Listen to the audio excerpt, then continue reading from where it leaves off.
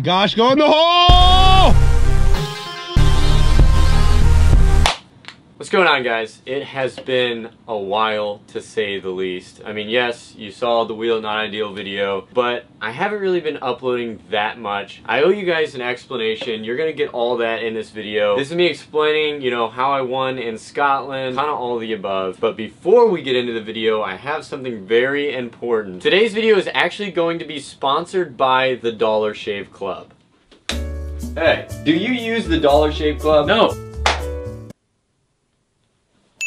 If you guys didn't already know, the Dollar Shave Club is primarily a shaving company, but it also has you covered on shower, oral care, deodorants, and most importantly, shaving. This is just what I needed. The thing I have noticed between a regular razor and this razor is everything's just more smooth. With $5, you can actually get a really cool package. One, you get a weighted handle. Two, you get six high quality blades. Three, you get a three ounce tube of Dr. Carver's shave butter, which is transparent and it will give you more of a precise shave, but not only that, it will prevent ingrown hairs and will fight razor bumps. For a limited time, new members get their first month of the executive razor with with their bottle of Dr. Carver's shave butter. And guess what? It's only $5. However, after that, the restock box ships regular sized products at a regular price. In order to attain this purchase, you must visit dollarshaveclub.com forward slash GM Golf.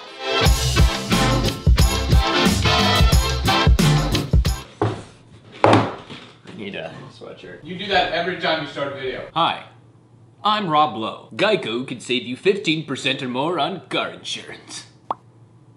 Actually, State Farm's not too bad. While Garrett's getting his hoodie, I'm here, and I'm going to be talking about the Scotland trip. Uh, Scotland was great. I played pretty well. I shot 14 under. Um, I mean, it's just like typical golf that I do. Not 100% sure what Matt just said, but we're to dive. So, essentially, I was invited by Scotland Home of Golf to go to Scotland. And uh, this was like a month ago. Essentially what it was, was a nine vlogger golf tournament. There was me, Brody, Zac Radford. I'll list them on the screen.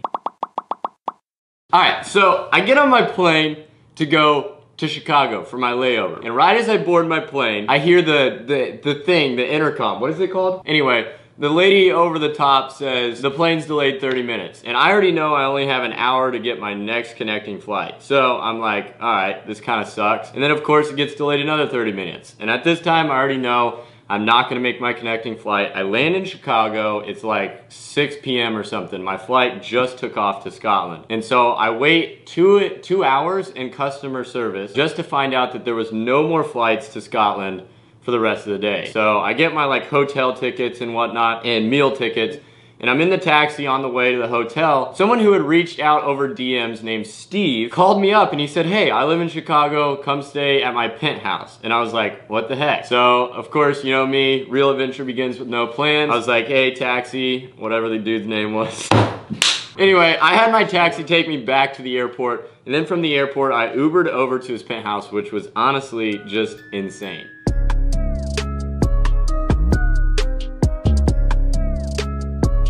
These floors, they're heated.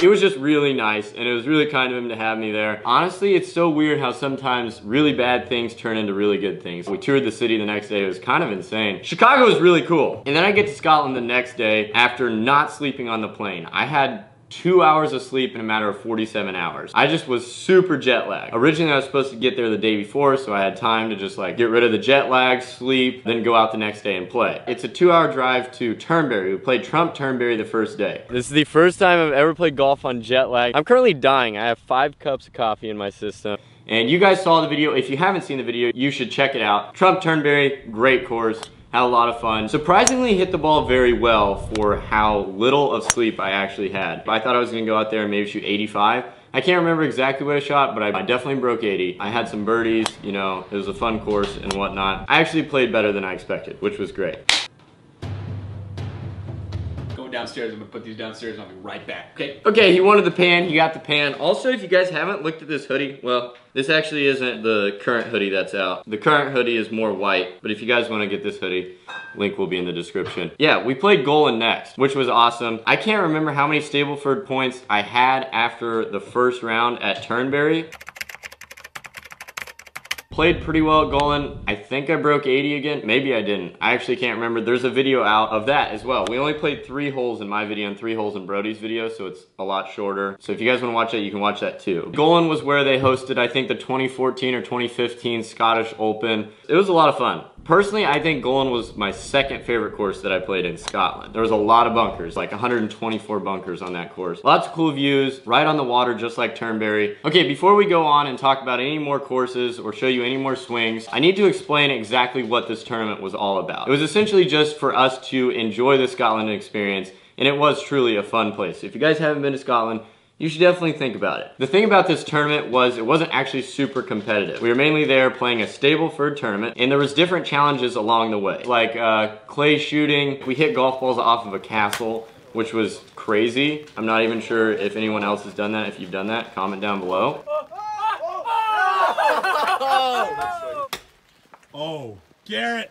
It was a handicap tournament, so everyone had equal chance. Yeah, just a bunch of different challenges that you could actually earn points. Golf was probably like 80% of the trip, and then there was like 20% of just enjoying the Scotland experience. We stayed at like local hotels, ate local food, all the above, just got the full experience. Also, we had Domino's like twice, which was kind of funny because we were in Scotland and we ate Domino's. Okay, the third course we played was actually the oldest continuously played golf course in the world. So there's this ongoing debate between St. Andrews and this old golf course that we played called Musselburgh. So the thing about St. Andrews is there was a time period where no golf was played for I don't know how long, it was years, but essentially there just wasn't continuously played golf up until this point. They've never gone out of playing golf. It's been entirely continuous, so that's why they say they're the oldest golf course continuously played. We actually played there with Hickory Golf Clubs. If you haven't checked out that video, also made a video about that. But that was one of those cool little challenges that we played, and I also got points for that. We only played three full rounds of Stableford points. That was just a challenge. Okay, and finally for the important part of today's video, going into the last and final round, playing the coolest golf course I've played in a while, Gleneagles. You gotta play it if you're ever in Scotland honestly just insane really beautiful course it was more like a kansas style course because most of the courses we played were links but this one was like kind of like playing golf in the middle of summer in kansas city but going into the final round i get on the first tee we didn't really warm up Brody and I went to the range, but we went to the wrong side of the range, so we only hit a few balls. We tried to go to the backside, but then we realized we actually had to tee off right then and there. So, but on the first tee, bottom line, I hit two straight shots in the tall grass and made triple bogey on the first hole. And Patrick made par, so I was instantly just going downhill. But after that, I was just like, we're just gonna go out here, have fun, hit some golf shots, and hopefully, you know, we shoot a decent score. So front nine, I think I limped through it and maybe shot like three or four over, whatever it was, and definitely got some points. I'm not really sure the exact number of points I got on the front nine. Going into the back nine, I think I was like still, still down some points, but I was playing better. I pulled a six iron on the first hole, of the back nine, aka hole 10 into the bunker. Made bogey there, and then on the next hole, I decided to hit one iron off the tee because it was a layup hole and I hit a perfect like riser stinger in the middle of the fairway. Grabbed wedge from there. I think I was like 110 yards out. I hit it, it landed, it was tracking, it was tracking, it was tracking. I swear I thought it was going in and it literally lipped out and went, I don't know, eight feet on the other side of the hole. I left that putt short, made par there. Next hole, hit it in the fairway, hit a nice, actually pretty nice seven iron that I thought I pulled straight left. Turned out it was actually pretty good to 20 feet, made that putt for a nice birdie. On to the next hole, which was one of the hardest holes of the course. Hit driver off the tee, pushed it into the right rough, hit four iron from there, short of the green, got up and down for a nice par. Uh, next hole was a drivable par four. So if you hit it left of the front bunker, you can get it onto the green and possibly make eagle. However, I pushed it, hit it directly at the pin, just short of the bunker. It got stuck on a rake, so I was on the downslope in the rough, kind of short-sided hit it to about 15 feet. And then Brody said this. All right, I am so confident in my putting abilities, but really, actually, I'm not. I kind of just want to put pressure on these guys so they mix their birdie putts. We all have about the same distance. Is how it's going to go. If one person makes their birdie putt and the other two miss, the other two people have to pay him 10 bucks. So you can walk away potentially with $20. Here we go. And right after he said that, I knew I needed to make it considering I was going to make like 10 or $20 if I did make it. Don't want to put money on the line, man. Oh my gosh, he is Cashzilla. Made a nice birdie, and I think that put me to one under par. We get up on a par four that's kind of short, like 400 yards, but it's downhill, so it plays even shorter. I hit a nice drive. I had like 85 yards, hit it to 15 feet, barely missed the putt for birdie. Brody almost drove the green on that hole. Next hole was a par five. I hit my tee shot straight right and I was like, oh no, I'm choking. I was in the tall grass. I ended up finding my ball, which I was quite lucky to do because we weren't finding too many balls that day. Hit pitching wedge out just left of the fairway, then hit another pitching wedge to like two feet made a birdie. If I didn't find my ball off tee, probably would have made double bogey. Second to last hole, par three, just coming off of a birdie. I thought for sure I could possibly make birdie on the hole because it was only like 140. Got up there, hit pitching wedge just left of the green, and got up and down for a par. And finally, last but not least, one of the coolest holes on the course actually, hole 18, which happened to be a par 5, really short. You could kind of cut the corner and then hit a nice iron into the green. However, the tough part about this hole was all the bunkers around the green, the contour of the green. I hit my driver into the fairway. I had like 180, pulled 6 iron left of the green. I actually hit one of the best chips I've hit in a while considering where I was at and missed, I think, I don't know, 5, 6 footer for birdie. So that would have been three under, I think, on the back nine. However, I shot two under. It was cool to finally hit the ball well.